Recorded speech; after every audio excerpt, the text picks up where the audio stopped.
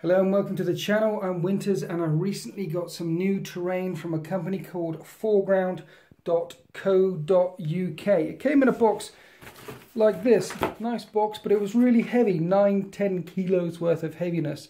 And the reason why it's so heavy is because this is MDF. This is laser cut computer aided design MDF so you can see all the cuts and uh, yeah the laser burns its way through the wood the MDF and um, makes beautiful shapes. And you stick together the beautiful shapes and they look like that. Or like that.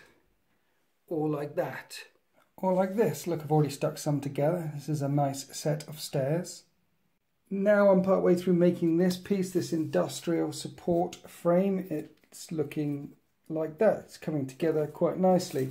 You um, basically push out the pieces from these templates. So here's, here's some I did earlier. Pushing out lots and lots of pieces from the templates. Follow the instructions on here on how to stick it together and you end up making something that looks a bit like that. And this thing, these pieces can be added together.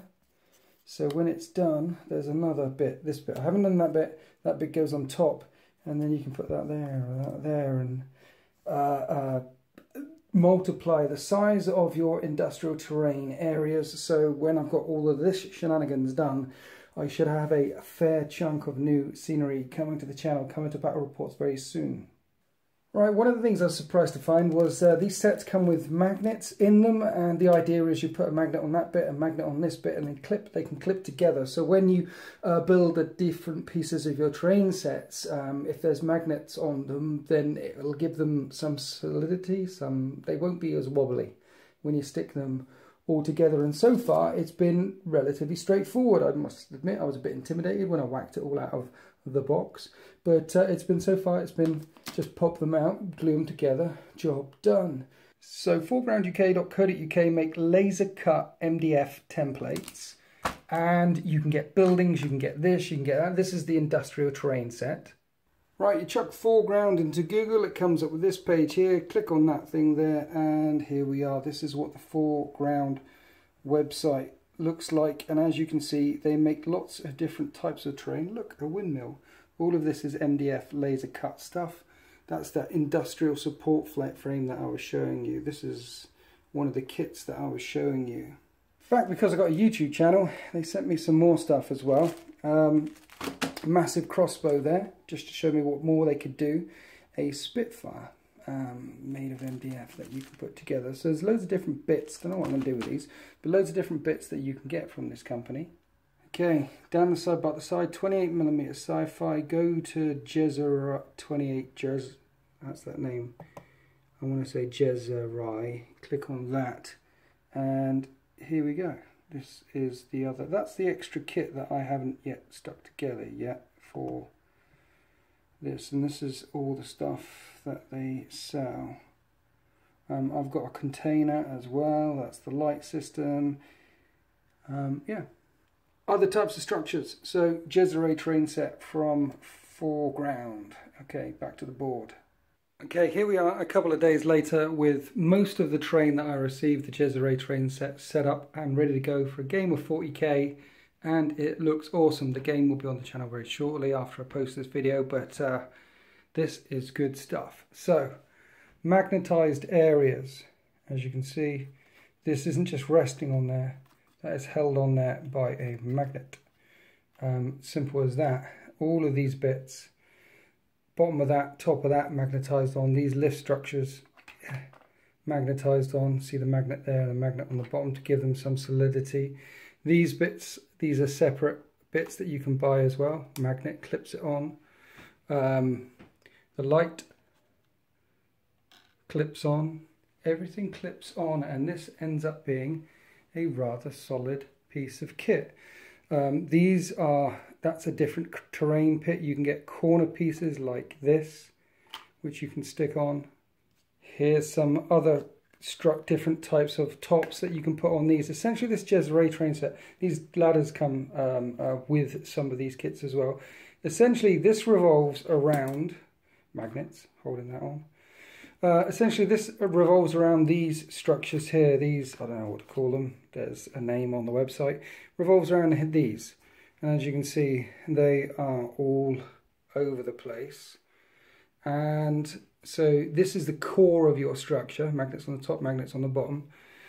And then you get the tops, different tops, different things like this to put them on there and stick them together like an item of Lego or Meccano, a giant piece of, it's just, I am so impressed by this. This is my first attempt at making a structure using this terrain set and this came together very quickly.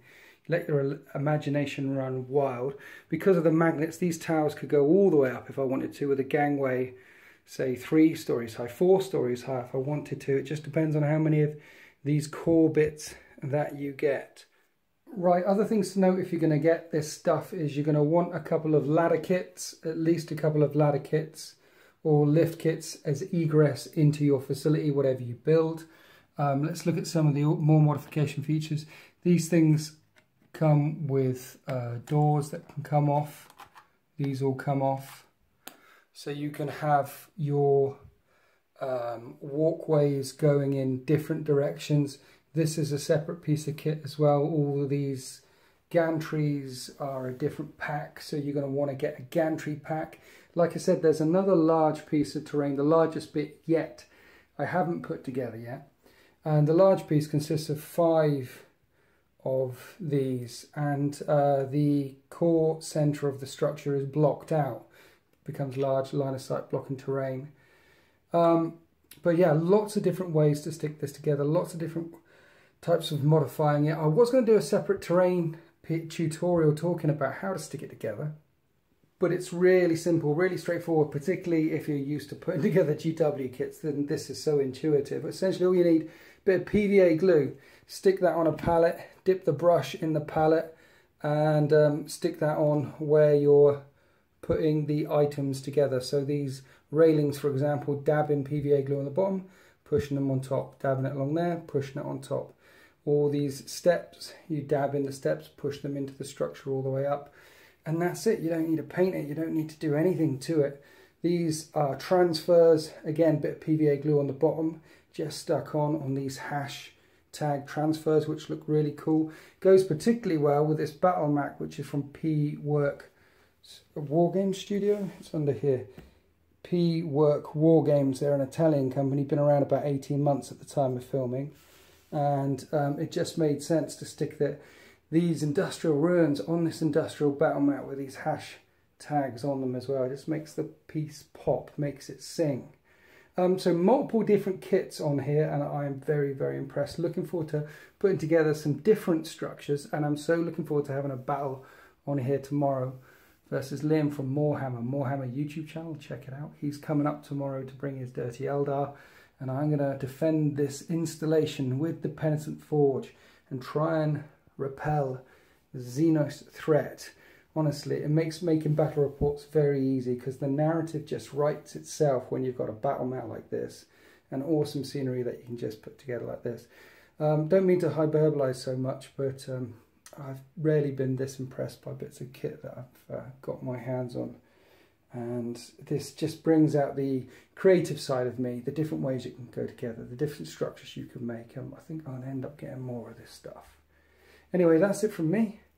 Thanks for watching. Happy wargaming.